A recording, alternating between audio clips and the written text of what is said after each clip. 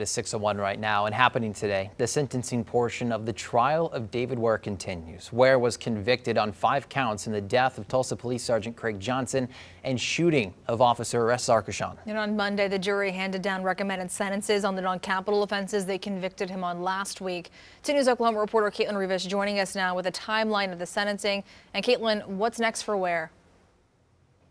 Corey, what's next is Ware could be sentenced to life in prison with or without the possibility of parole or the death penalty. Today, the state will cross-examine the defense witness, a licensed psychologist and addiction expert. Then jurors will hear victim impact statements from Johnson's family. In Monday's sentencing for Ware's non-capital offenses, the jury agreed to life in prison for shooting with intent to kill, 30 years for possessing a firearm after a felony, 25 years for possession of a drug with intent to distribute, and one year for obstructing an officer, as well as $20,000 in fines. Now, the defense called those sentencing recommendations a win. Once the sentence was handed down, a veteran attorney, Kevin Adams, says he thinks the jury will show his client mercy.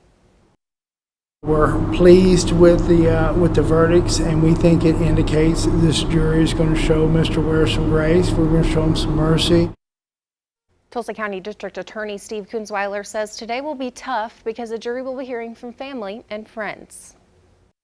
Mrs. Johnson and, uh, and their son uh, have prepared victim impact statements, and uh, we fully expect that they're going to be testifying tomorrow. They were on our witness list, and so uh, this jury is going to hear from them. Again, on the first degree murder conviction, Ware could be sentenced to life in prison with or without the possibility of parole or the death penalty. In the next 30 minutes, we'll hear from both attorneys on the next steps for Ware. Live in studio, Caitlin Rivas, 2 News, Oklahoma.